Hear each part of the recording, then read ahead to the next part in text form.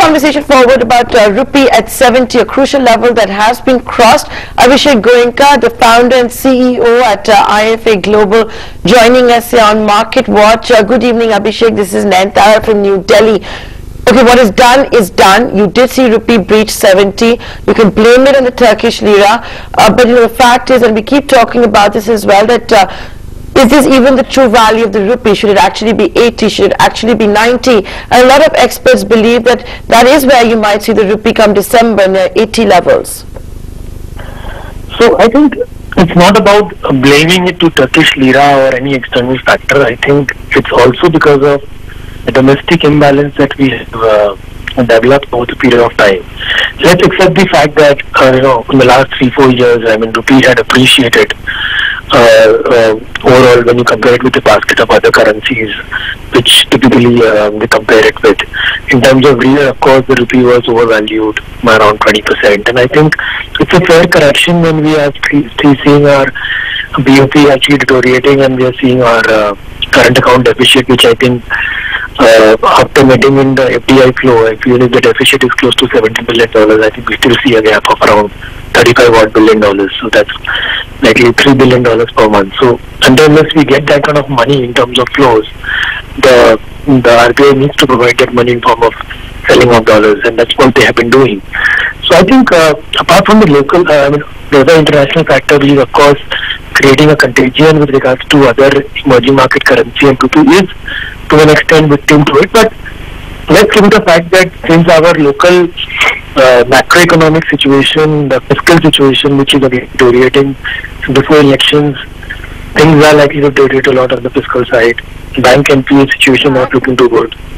I think rupee is likely to depreciate, and I think it's a good thing. I mean, to remain competitive and uh, again to you know uh, uh, disallow unnecessary electronic item which is getting dumped into the country. I think level of 71, 72 is a fair thing when you compare to other basket of currencies for the country. The exporters will be, you know, so happy with this. Uh, Anand Mahindra, for example, has already tweeted also saying, why are we crying? Uh, it could make India globally competitive. There's a chance to make in India. But that's a totally different uh, conversation to have. But Abhishek, do tell me, uh, if the government, because it's so concerned by the deficit and something the RBI is also very worried about, can we afford to keep propping up the rupee? Do you see the RBI doing that? Have you seen intervention today? Has it intervened to the tune of $30 billion in the last one month? And it is sustainable, not just because of where the forex reserves are, it's more than $400 billion, but because we're also on the watch list of the United States for this very reason. So, uh, please understand that uh, they had intervened uh, yesterday. I mean, we get the numbers close to a billion dollars, possibly. I mean, of course, there is no way to verify that before the actual numbers come in. And also, we saw some intervention today when the market went 70 plus levels. So they have been doing their intervention. But please understand the quality of our reserves are not very great. I mean, there is a lot of uh, uh, risk that is running and in case there is a contagion effect, RBI would uh, use those reserves very meticulously. And when we are sitting against the trend, like RBI was protecting the level of 69 for like a very, very long time. And time again it had crushed speculators that rupee doesn't break 69.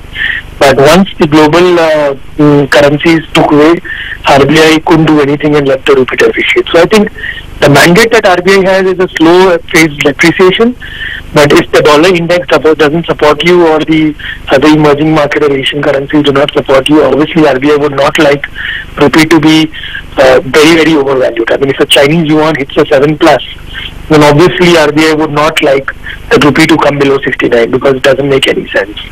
So I think, uh, yes, it is trying to uh, uh, stop the rupee for an excessive depreciation that we saw in the years of 2013 or 2008 because then it creates a ripple effect because the levels of 70s create a trigger for a lot of uh, funds, uh, especially the debt funds which are invested in India because the yields are also going up.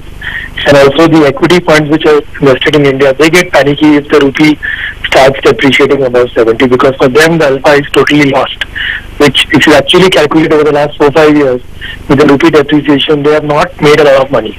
So So if 70 breaks, possibly that could create triggers and which can actually further create triggers to go to 72, 73. And that is what RBI is scared about. So I think they are intervening in a slow and steady fashion and they would be there in the market.